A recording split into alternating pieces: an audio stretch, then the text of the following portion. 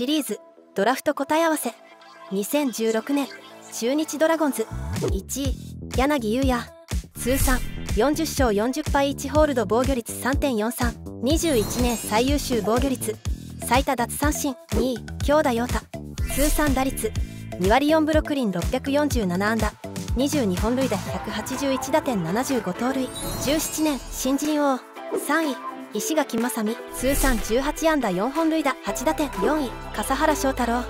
通算11勝13敗防御率4.445位藤島健人。通算7勝4敗32ホールド1セーブ防御率2.736位丸山大輔。通算0勝0敗防御率8.25引退育成1位木下雄介。通算0勝0敗1ホールド1セーブ防御率4.87